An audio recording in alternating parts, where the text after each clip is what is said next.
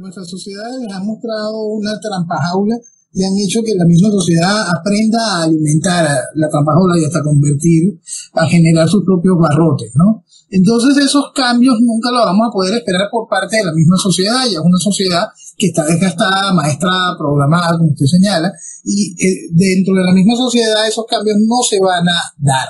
Por eso es que es tan importante que en nuestros países surjan vanguardias con visión político-ideológica de elevar a las sociedades, de impulsar en las sociedades esa oportunidad para que el mañana sea de, de, cambio. Y es, es, imposible desprogramar una sociedad.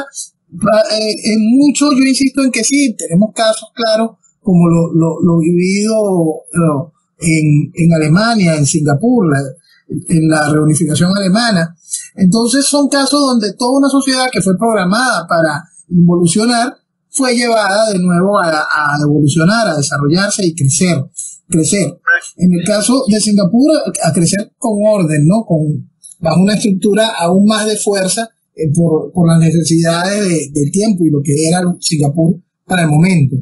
Y tenemos estas sociedades hoy, pues, y son sociedades de punta en el mundo. ¿Qué hace ese cambio? Eso, una vanguardia decidida a elevar a la sociedad.